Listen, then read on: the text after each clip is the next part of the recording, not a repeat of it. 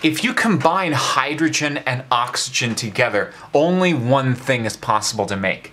This is a synthesis reaction because two things, hydrogen and oxygen, are becoming one single thing, the most common hydrogen-oxygen product you can think of, water.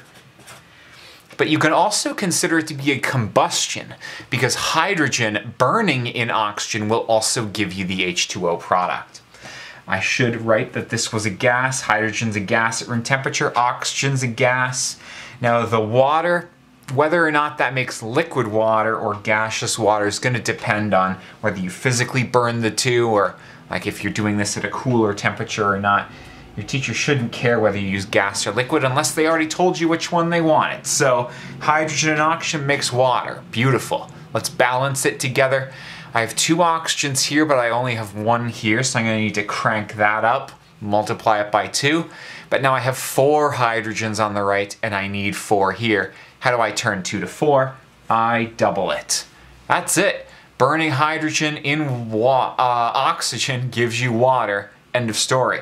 Anyone who tells you that it makes hydrogen peroxide is absolutely wrong. It does not make H2O2. That's what noob kids tell you when they think they just get to ram these two formulas together. It's not how it works. H generally brings a charge of plus one, and O generally brings a charge of minus two. You crisscross those to make a formula, you're gonna get H2O, not H2O2. Hey, accept it. Best of luck.